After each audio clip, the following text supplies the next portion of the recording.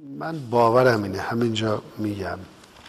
اگر کسی در ذهنش باشه که از موضوع هدفمند کردن یا فضاهایی که به طور طبیعی به طور نوسانی در اقتصاد ایجاد میشه بهره برداری بکنه و بهره برداری سوی بکنه حتما ضرر می‌کنه. من قاطع میگم من از اسکول بانک مرکزی خواستم که قیمت ارز واقعی بکنه. من بعضی گفتن 1600 تومان 2005 اینا نیست که قیمت ارز واقعی ما بعد بیاد پایینتر. وقتی ذخایر عظیم ارزی ما داریم باید پول ملی رو تقویت کنیم. بنابراین این روند کاهشی باید ادامه پیدا بکنه. نمیگم چند چون ممکنه که الان بعضی ها ولی این روند کاهشی باید ادامه پیدا بکنه. ما موقعی موفقیم که پول ملیمون پول قدرتمند باشه. باید بریم به اون سمت. چرا باید ارزو؟ بعضی میگن ارزو با نام نرخ تورم ببرید بالا. رفته دیگه قبلا چند برابر تورم رفته بالا؟ حالا باید ما جبرانش کنیم. و ازمارش بکنیم. بله ممکنه که در صادرات کالا برای صادر کنندگان ما مشکلی پیدا بشه. در این من دیدم بعضی اشاراتی می‌کنن به گونه ای که قراره یه فشار سنگینی به مردم بیاد. نه فشار سنگینی در راه نیست. مطلق. اما ما با یه سازوکارهایی باید شرایطی به وجود بیاریم که مردم مصرفشون رو کنترل کنن. منافعش هم بمونه تو جیب خودشون. یعنی در واقع مشارکت مردی رو هم شما قطعا نیاز دارید. مشارکت اصلا بدون مشارکت مردم که نشدن نیست. این تر مردمی ترین تر اقتصاده. این که ما به مرور داریم الان اولین قصر رو میریزیم برای اینکه این رفت و برگشته انجام بشه چک کنیم با مردم. بالاخره ده ها میلیون حسابه. یعنی یعنی برای ده ها میلیون نفر ما می‌خوام پرداخت کنیم. همه باید کنترل کنن ببینن. این مسیر رو داریم قدم به قدم هی کنترل می‌کنیم مطمئن بشیم. اما واریزا با یه شاسی انجام میشه. یعنی قسط بعدی رو بخوام بدیم انشالله با یه دونه شاسی می‌زنیم. تمام. اما چرا الان مرحله ایش کردیم؟ برای اینکه هر استانی بزنیم کنترل کنیم. مسیر مطمئن بشیم. شبکه که طرح شده مطمئن بشیم. خواستم یه تصویر روشنی بدم که قرار نیست زندگی ها به هم بریزه و مطلع نه قرار با هم یه نظم جدیدی رو تو زندگیمون برقرار بکنیم. اصلا چاره جز این نیست. ببینید این یه طرح ملی اصلا اقتصادی امر ملیه. اشتباه می‌کنه که فکر می‌کنه اقتصادی امر فردیه. هر کس کار خودشو بکنه. نمیشه که. ما یه ملتیم. با همیم. سرنوشتمون با هم گره خورده. کارمون رو هم اثر داره. ببینید همه به هم پیوسته است. هیچ کس در اقتصاد مجزا از دیگران نیست. بگه من تأثیری نداره کار دیگران رو من و کار من رو دیگران. و هم پیوسته از حلقه های پیوسته تو در تو همه با همیم. حالا می‌خوام اصلاح کنیم. همه با هم باید اصلاح. اصلاح بکنیم و این شدن نیست. اکثریت قریب به اتفاق همین فکرشون و همین اندیششون من دارم به یه معمولا هم یک در هزار هستن که فضاسازی می‌کنن انبار می‌کنن. اما بخش سوم نظارت بازرسی است.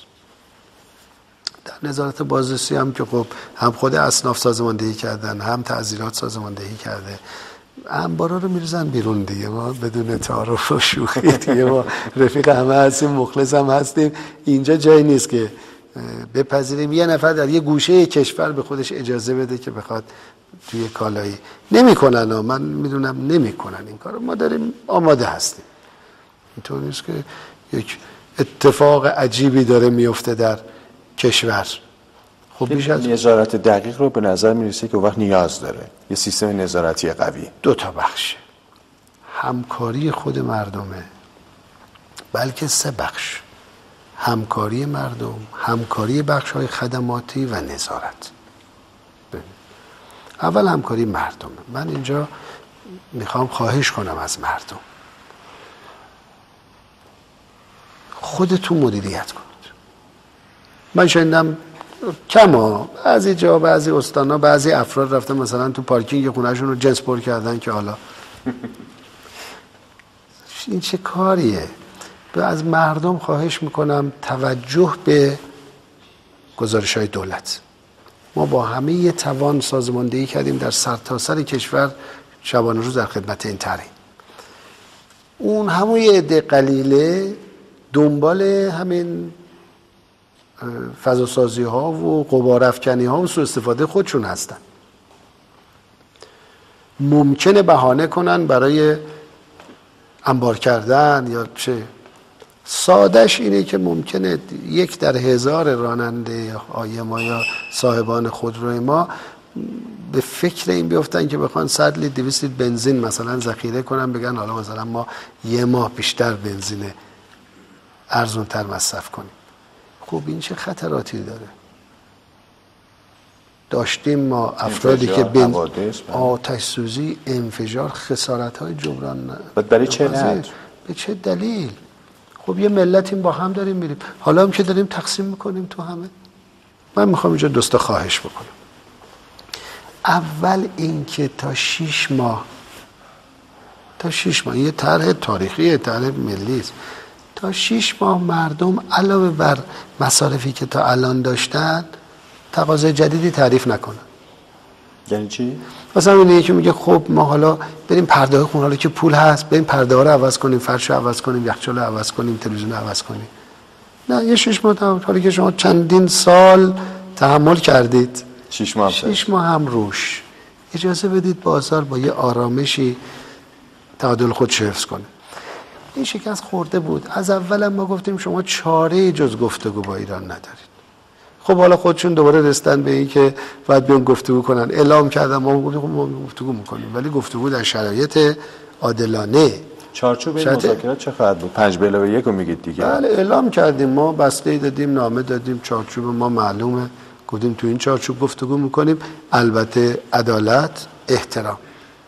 حتی گفتیم نظرشون هم راجع به بعضی مسائل اعلام کنن. تا حالا هیچ کدوم جرئت نکردن اعلام بکنن. منتها گفتیم اعلام نکنید معناش ایناست. و اگر اینجوری باشه نظرات شما ما مثل خودتون باتون مذاکره می‌کنیم. اینجور نیست که هرچی شما بگیم میگی بسیار خوب. شما می‌خواد با ما دشمنی کنید اب نداره. ما با دشمنمون جوری صحبت می‌کنیم با دوستمون جوری دیگری صحبت می‌کنیم. شما قوانین دنیا نمی‌خواد بپذیرید اب نداره. ما با کسی که متمرده نمی‌خواد قوانین رو بپذیره به گونه دیگری گفتگو گفتگو می‌کنیم. همش گفتگوست. شکل گفتگو متفاوت است. یک مقطعی برشی از قدرت ملت های منطقه به رخ دشمنان کشیده شد. در واقع همه معادلات سیاسی منطقه عوض شد. یک کسی یه تعبیری به کار برده بود در نقطه مقابل تعبیری که دولت قبل آمریکا به کار برده بود که ما دنبال خاورمیانه بزرگیم یه تولد جدید و زایمان است و این جنگ لبنان و جنگ غزه درد اون زایمانه. این در مقابل اون گفته بود خاور میانه بزرگ متولد شد. به دست ملت ها و در نقطه مقابل قدرت های زورگو و فاسد. واقعا مردم لبنان یک تجلی از ملت های منطقه بودن. الان میگن دو تا قدرت در دنیا هست که ایران یکی آمریکا. من فکر می‌کنم اون موقع دیگه اصلا همه چی عوض شده.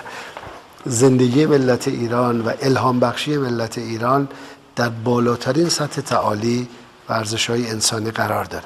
اصلا یه بچه پنج ساله ما نگاهش نگاه جهانیه. یه جوان دبیرستانی ما نگاهش به افقهای بلند تاریخیه.